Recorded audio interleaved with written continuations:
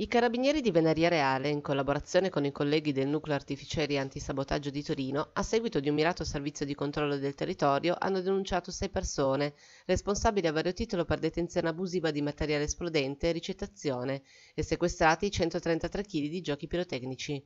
L'operazione è nata dal monitoraggio dei mercati rionali, dove in prossimità delle festività natalizie alcuni commercianti vendono anche fuochi d'artificio. I carabinieri hanno individuato una famiglia di Venaria, padre, figlia e genero, di origine napoletana, che vende frutta e verdura al mercato, ma che in questo periodo dell'anno è sospettata di vendere anche artifizi pirotecnici. Il sospetto è diventato certezza quando un sessantenne con precedenti penali e un complice sono andati al mercato rionale torinese di Corso Nizza e hanno consegnato a un ambulante, un 37enne con precedenti penali, 48 kg di giochi pirotecnici. I carabinieri sono intervenuti per bloccare i venditori e gli acquirenti e nel bagagliaio dei primi hanno trovato 77 kg di fuochi d'artificio.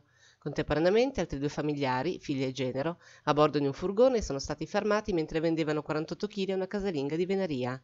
È stato accertato che la vendita era priva di qualsiasi autorizzazione di polizia e il materiale esplodente era detenuto senza minimo requisito di sicurezza.